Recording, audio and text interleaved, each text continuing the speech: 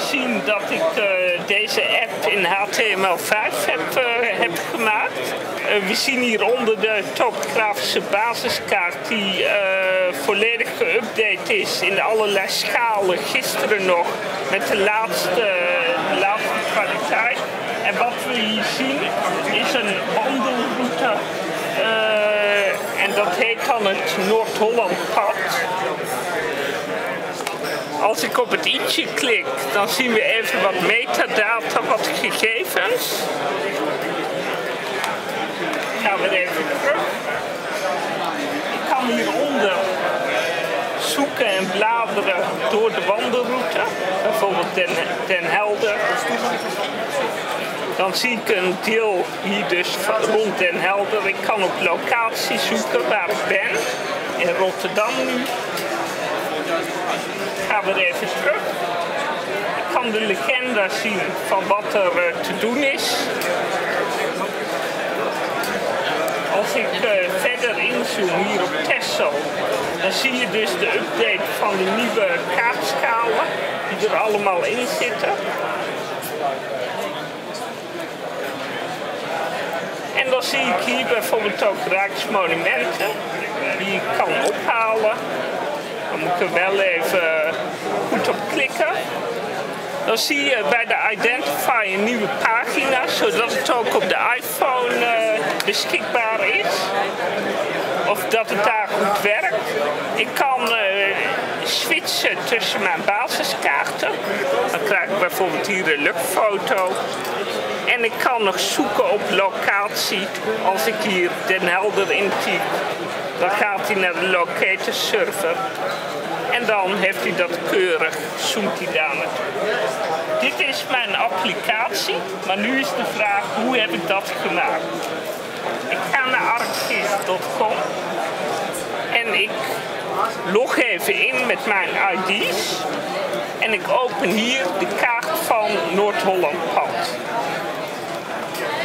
De metadata die ik in mijn applicatie zag, die zien wij hier.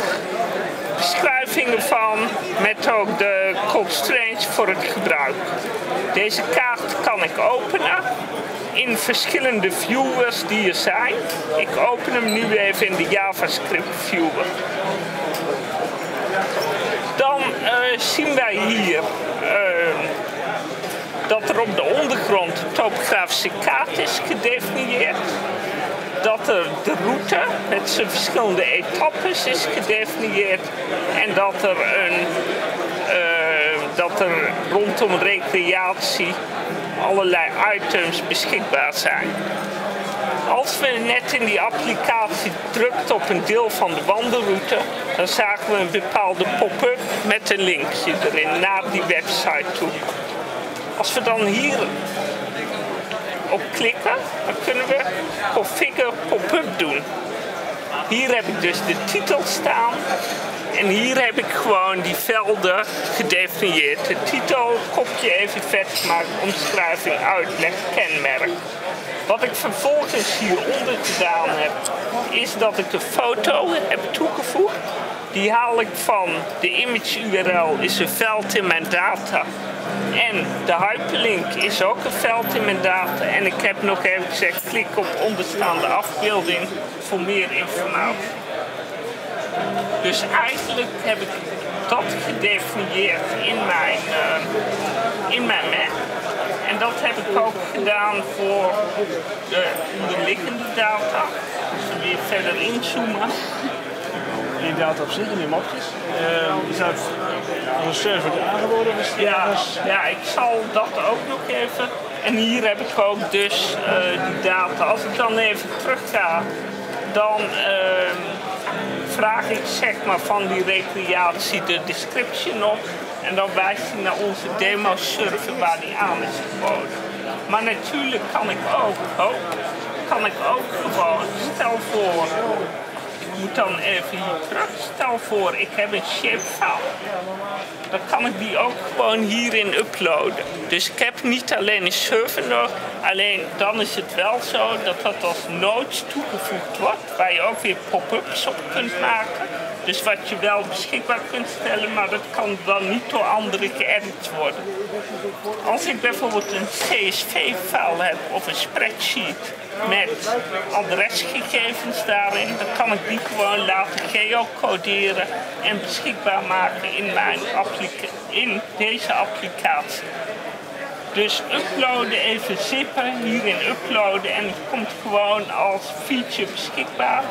En daar kan ik dan ook nog de symbologie van instellen of sorteren op bepaalde symbologieklassen. Dus ik kan hier helemaal ook een kaart opmaken met de Leger-files. Er zit wel een beperking aan tot 1000. Maar je zou wel kunnen voorstellen dat je dus kleine kaartjes daarmee doet. Nou, als ik die dus opsla, dan krijg ik bovenin, hier in de balk, komt de code te staan. En die code is eigenlijk het ID wat ik kan gebruiken uh, in mijn uh, verschillende applicaties. Dus als ik even een, uh, even een presentatie open, mobile apps.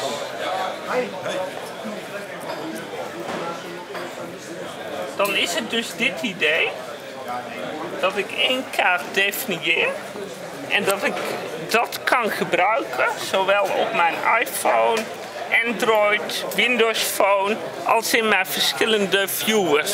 Dus de map is het configuratiebestand voor al deze viewers. Dus als ik die kaart in de iPhone open, dan werkt dat gewoon zoals ik dat gedefinieerd heb in ArcGIS.com.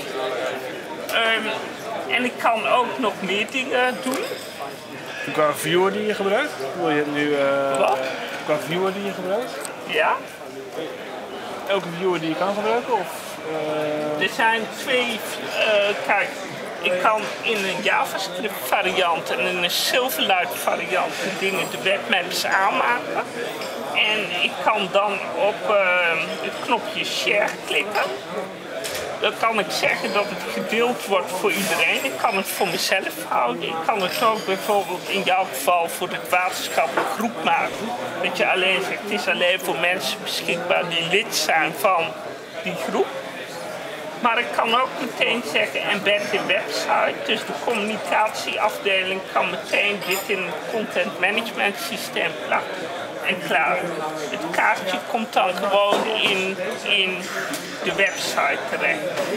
Uh, wat ik nog meer kan doen, is dat ik ook webapplicaties gewoon kan creëren.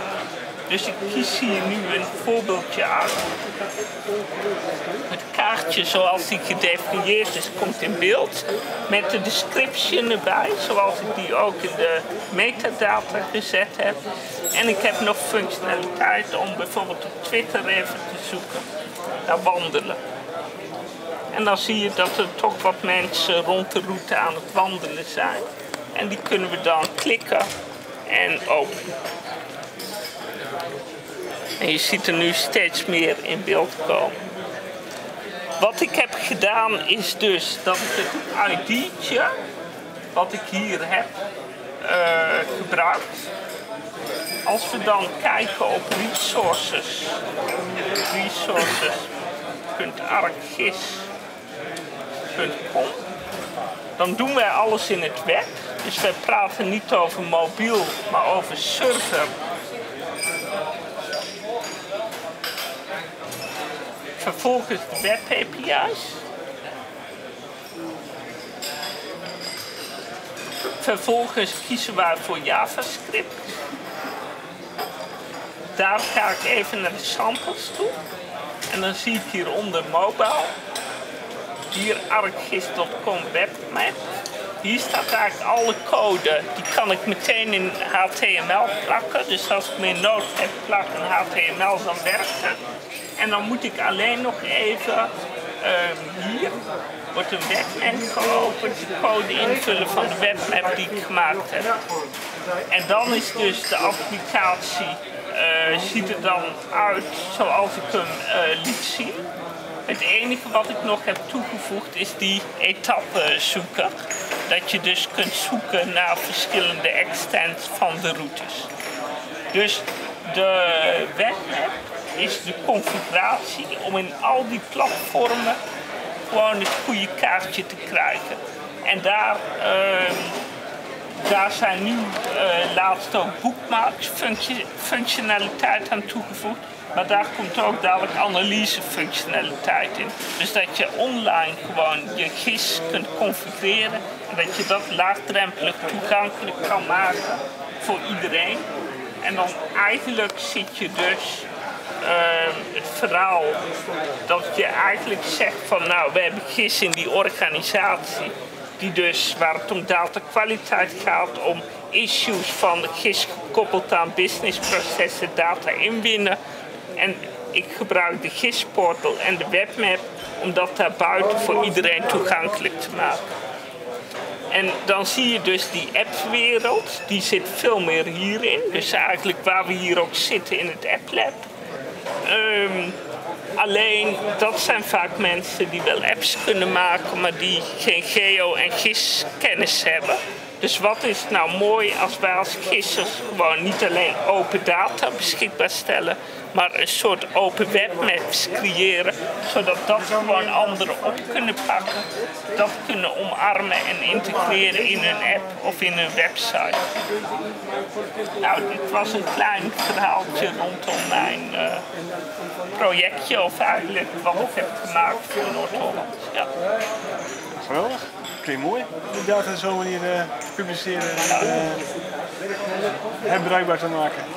Nee, heel veel organisatiedata's. En zeker als we dadelijk ook organisaties kunnen laten hosten, dat je zegt met 10.1 ik ben nu hier, maar ik wil het hier beschikbaar maken. Dat je dat gewoon, nu zeg je publish to ArcGIS server, maar dat je dan gewoon zegt publish to ArcGIS online of publish to de Amazon Cloud. Dat het dan de data ook gelijk geüpdate wordt en de service daar aangemaakt wordt.